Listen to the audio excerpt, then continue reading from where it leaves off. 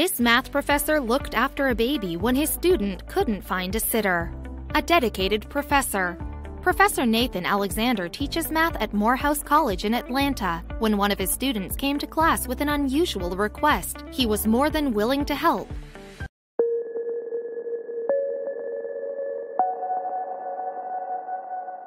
A historic college. Morehouse is a historic institution, having opened its doors for the first time in 1867 and producing such noted alumni as Martin Luther King Jr. himself. While times have changed in the years since the college was first established, some of the students' challenges have remained the same.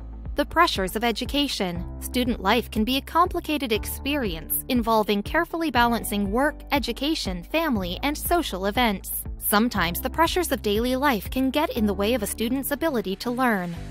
Challenging studies. With midterms approaching, student Wayne Hayter was eager to attend a lecture that would cover some of the material he would need to know for his test. There was just one problem he was double booked. A child in need of care. At the time that Hayter was supposed to be attending Professor Alexander's lecture, he also needed to care for his daughter, Asada. This tiny little girl was just a few months old and needed her daddy. A happy family. Hayter and his wife, Frida, were trying their best to provide Asada with the best possible start to life. Part of that means lots of one on one parent time, and that involves Hayter getting a world class education so that he can provide for her future. Parenting as a team.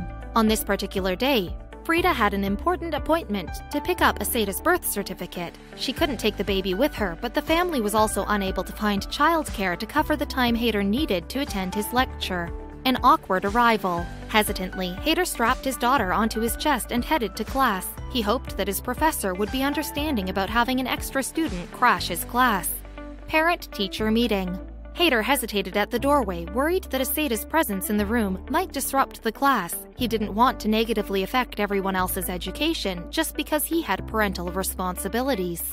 Welcoming to all students. When Alexander saw Hayter hesitating, he welcomed him in with a big smile. Asada was perfectly welcome in the classroom.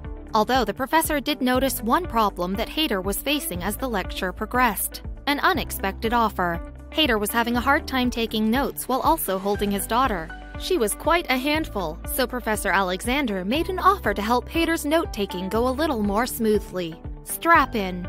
Alexander offered to hold Asada so that Hayter could listen properly to the lecture. At his professor's insistence, Hayter strapped his daughter onto Professor Alexander's chest. But would Asada appreciate all of the additional attention or cause a disruption for the other students in the class? Multitasking. After a short delay, Alexander continued his lecture with Asada snuggled comfortably in front of him. He was able to continue writing on the board, and the baby was perfectly content. Photogenic. Fellow student Nick Vaughn was so amazed to watch his teacher multitask. He was also doing his best to swat up before midterms and was grateful for such a talented and thoughtful professor. Vaughn was so impressed that he pulled out his phone and snapped a few photos of Alexander at work. He posted them online later, expressing his amazement at the unusual lecture.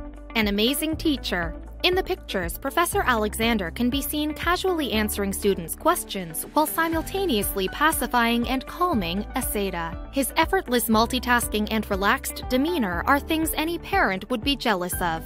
Twitter Gold.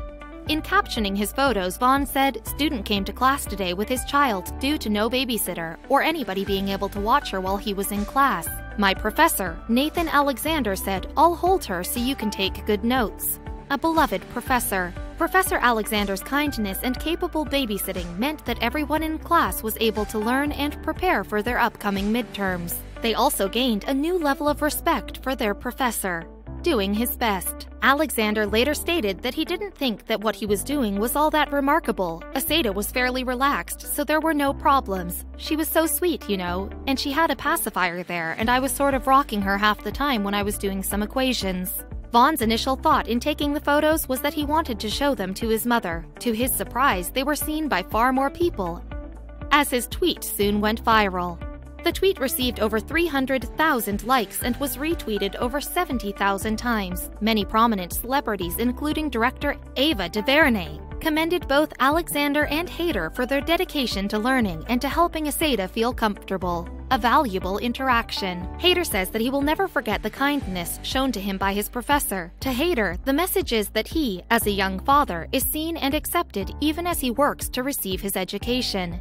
Alexander is a strong believer that his role as an educator means more than just giving his students facts to memorize. He's heavily involved in building a rapport with his students, whether they're in the classroom or visiting Six Flags. Seriously, why can't more teachers be like Alexander?